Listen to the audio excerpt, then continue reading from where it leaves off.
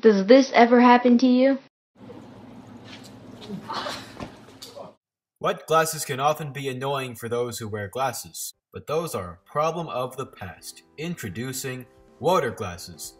The glasses that may or may not sometimes get wet, but it'll probably leave you dry.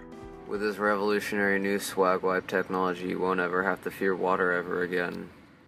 Just ask this happy customer. Look at these sweet glasses I got from that guy in the alley. I'm gonna get all the girls now.